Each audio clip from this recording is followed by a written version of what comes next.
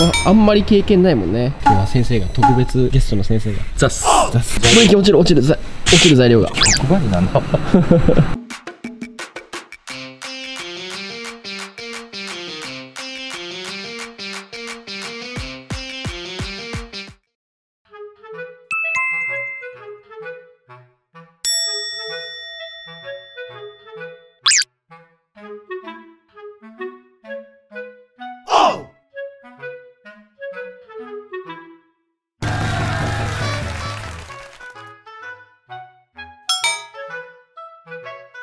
Thank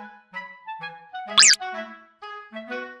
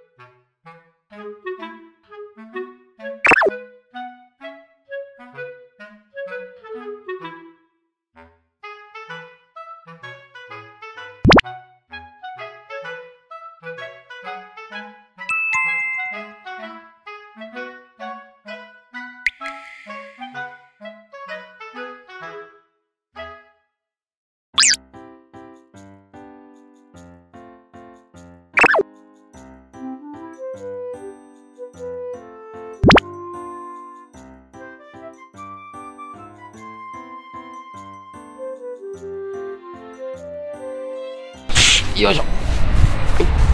さあちょっと教えてってもらっていいっす？先生に聞いて先生に。先生。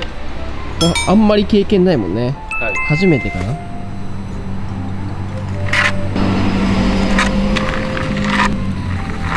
あんまりあのまずこの辺から狙ってた方がいい。こういうあの縁からお上手じゃん。上手じゃん。ちょっと練習したもんなさっき。